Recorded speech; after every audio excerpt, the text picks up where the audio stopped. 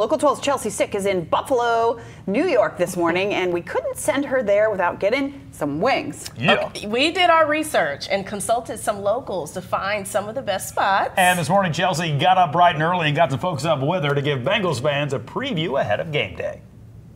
We are at the Bar Bill Tavern just outside of Buffalo, and it is a must see if you are headed up here for the Bengals Bills game. I'm here with Clark. You are the owner, and you all are known for your wings, but also this sandwich that I had not even heard of until I got here to Buffalo. Tell me about what it is.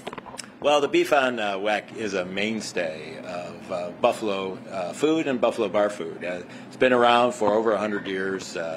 Uh, and uh, what it features is uh, very slow roasted, tender roast beef, uh, but a roll called Kemmelweck, uh, which is an old German roll uh, that has uh, caraway seeds and, and heavy, heavily salted. we've reduced it to just weck, so beef on weck served with very hot horseradish. Mm-hmm. And that it, firsthand. it is it is a delight. It is really good. And then tell us what makes the wings here in Buffalo unique, other than the fact that they were, of course, made first here? Uh, that they were the, at, at, at the now famous uh, Anchor Bar. Um, uh, just a couple of key key notes on our wing. Our wings are uh, hand painted. We are the home of the painted wing, uh, and essentially what we do is every single wing, the sauce is painted with a brush each side, uh, and we do that painstakingly in order to mm-hmm. make sure that each and every wing and each and every bite is the same. So whether it's your first wing or your thousandth wing, uh, uh, they all each and every bite is great. And I know that you all are going to be printing that Bengals logo on the Guinness beer for those Bengals fans that come in here this weekend. Well, we do. Uh, uh, speaking for all Buffalonians, we have a very soft spot for the city of Cincinnati. Uh, certainly, uh, dating back to the Boyd and uh, Dalton connection that put us in the playoffs after a 17-year drought. Uh, we love you is one of the biggest plays in Buffalo Bills history. Uh, but uh, certainly recent memory and uh, how kind you were to our team and our city and the whole Damar Hamlin thing that we suffered through together.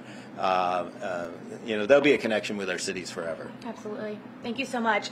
If you're coming to Buffalo for that Bengals Bills game, you got to stop and get wings. Come here to the Bar Bill Tavern or the Anchor Bar. Both are really good, and you can get really those original Buffalo wings. Back to you on the studio.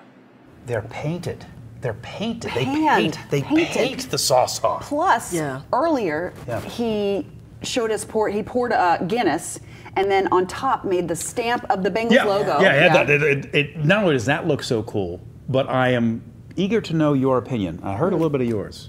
They say don't ask for ranch with your. Mm-hmm. They almost find it offensive. Get the mm-hmm. blue cheese. Right. How do you feel about that? Some people are straight ranch around these parts. I feel if you're going there, you should try it. You should do the blue cheese. Right? I- Just like we would I want like people to cheese. try I- I'm- Cincinnati chili here. Yeah. So just try it. Yeah. If you don't like it, it's okay. You're- he did say they make 10 gallons 10 of the blue cheese gallons. a day. How can you make that go go wasteful? well, Chelsea said she didn't like blue cheese going up there, but she tried it and she liked their blue cheese. okay. do the blue cheese. Mm-hmm. Do the blue Try cheese. it. Yeah. Try it.